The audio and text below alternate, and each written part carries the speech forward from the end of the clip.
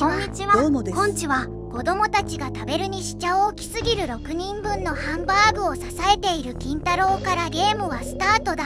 まあ結構ピンチな状態ですよね。支える金太郎も金太郎ですが彼の上にハンバーグを置いた鬼たちもすごい。桃太郎を見ただけで岩を蹴散らせるんだったらやる気の問題だったんですね。やる気スイッチ。これでようやく即戦力が加入するんですよね。長く苦しい戦いだったまあ回復薬の浦島が仲間になるまでの下りで挫折する可能性もあるんだけどね。盛大なネタバレですが確かに憂鬱ですね。そんなにしんどいイベントがあるのか。カルラさんも大所帯ですな。聞いてる聞いてる。もう大田王子と戦うんですか。彼は勝手に戦いをやめるタイプの鬼ですからね。桃太郎にとどめを刺していればこんなことにはならなかったんだよ。ね鬼の部下たちがこいつの悪口言ってそう。大きな組織の上層部なんてそんなもんですよ。なんで金太郎さんレベル1なんですかね。このゲームは加入する仲間はみんなレベル1スタートだからな。2ターンで終わる理由をつけて戦闘をやめてしまう大田王子。勝負の最中に相手に背中を見せられない。自由だな。まあ強制負けイベントよりも楽でいいけどね。一度や二度ならそれでいいんですけどねでこれで終わりじゃないんですか？鬼サイドの爪の甘さが敗因ですね。RPG の敵サイドはユーザーに対して優しいからね。ボスよりも消費者が怖い。そりゃ商用ゲームですからね。恒例のボスラッシュが始まるから金太郎のレベルを上げようね。親切といえば親切ですかね。これもカルラの優しさなんですかね本気で殺す気だったら総攻撃だろうしね。一気にクソゲーになりますけどね。金太郎のレベルがぐんぐん上がりますね。集中攻撃されて力尽きてレベルが上がらないって懸念もありますけどね。結構ゲームオーバー画面を見ることになるよね。やっぱり金山だったのか。足柄山で金が取れてたらあの周辺も変わってたでしょうね。喋るマネキンがいっぱいいそうだね。それは問い金山の話ですね。そばの持ち方をしてるのが気になるんですよね高く積み上げてる写真とかよく見るけどあれってどうやって撮るんだろうね。お待たせしましたガッシャー新手なパイ投げですね。それにしても攻撃が痛いですね。回復薬がいない上に回復アイテムの回復量が渋いのがきついんだよね。自利品ですね。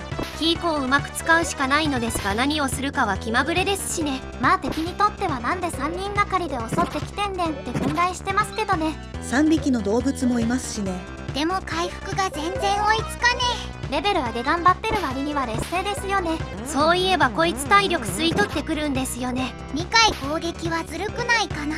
銀次も2回攻撃ですし。どうにか勝ちに持ち込むことができたよ。ボスが強いので勝った時の達成感はすごいですよね。でもボスで消耗した後にセーブポイントまでたどり着けなくて萎えたりしますよね。下手にセーブしたせいで積むこともあるけどね。ストイックなゲームだ。そして散々桃太郎を苦しめた彼が負けたことに腹を立てた彼らが背後から襲うと。専用ブラが用意されてないボスなのはかわいそうだねはしごの途中で器用なことをしますよね。着眼点はそこですか？子供がそっぽを向いてるところとかですかね？子供たちは金太郎も桃太郎も嫌いなんだよ。優しい金太郎がショッキングな場面だから見るなって言ったんですよきっと。金太郎がそんな気配りができる人って印象はないですね。正直そんな判断ができるほど金太郎を知らないんだよね。そんな雰囲気を察してアジャセは短縮バージョンですね。そしてダメ出しをする気が利かない金太郎であった桃太郎のために祭りをしてくれるらしいよ。ここで転売ヤープレイをするんですね。嫌な予感しかしない。金太郎が加入して冒険が楽になるかと思ったらまた銀次が離脱するんですよね。そのせいでアイテムを持ち逃げされるんですよね。肝心な時にいないせいで育てる気になれないんだよね残念な仲間だ。正直鬼側のスパイじゃないかって気もするんですよ。それは熱狂的なスリの銀次過激派を敵に回すことになるよ。登場が20年遅かったらそういう人たちもいたでしょうね。多様性の時代だ。なんか汚ねえ花火を打ち上げてくれるみたいだね。そんなに近くて大丈夫ですかね。市販の花火の距離ですね。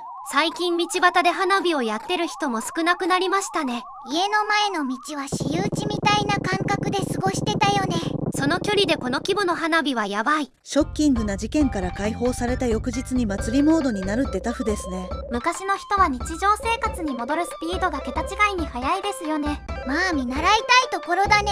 やっぱり転売ヤーするんですね。人聞きが悪いなスーパープレイの錬金術と言ってくれ。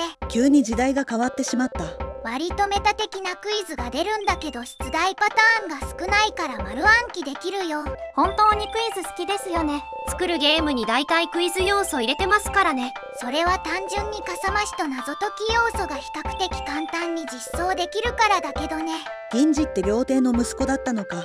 大量の包丁を持ち歩いている時点でそうなんですよね。このクイズで全問正解するとびっくり玉をもらえるよめっちゃ歓迎してくれる。ちなみに1回100両でもらえるびっくり玉は525両で売れます。これで難易度がだいぶ変わるよ。そしてこの階段でうろうろすると隠しボスが出るんですよね。よくこんなの見つけましたね。黒幕はきっと少年ですよ。それにしてもカルラはずっと監視してるよな。随分と余裕のある鬼ですよね。寝耳に水な状態ですが勝てるんですか？まあこの時期に出る敵なんで大丈夫ですよ。なんでおむつはいてるんですか？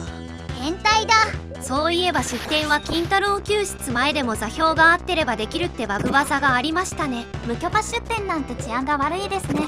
開発期間の短さからそういう細かいバグが多いけどその割にこんな隠しイベントがあったりと謎が多いよね。ちなみにハドソンは資料やデータを破棄したらしいのでリメイクは絶望的らしいですね。悲しいな。ファミコンの RPG ならリメイクもいいけどスーファミのゲームは特にそのままでも楽しめるからね。そして隠しボスなので人気度が6も上がってしまう。がっつりお金を稼いだので先を急ぐよ。全然急いでなかった。これから仲間になる人たちみんな殺されてるんじゃないですか？かぐや姫が誘拐されてる時にのんきにクイズ回答者してますからね。かぐや姫って誰だっけ？この世はもうすぐおしまいだ夫千人狩りの時間だ。鬼よけ仙人はすごくお世話になりましたね。エンカウント率がえげつないゲームなので必須の術ですよね。でもレベルを上げないと継ぐ。そして修行はエンカウントせずに木にたどり着くというめっちゃ運要素。下手するとここでだいぶハマりますよね。思えばよくこのゲームクリアできたなって思います。面白いですけどね。面白いってのはとっても大事だよ。当たり前のこと。鬼よけの術を授かったところで今回は終了ですか？あんまり進まなかったな。まあそんなもんですよ。ご視聴ありがとうございます。次回もまた見てくださいね。まだまだ続くよ。楽しみに待っててね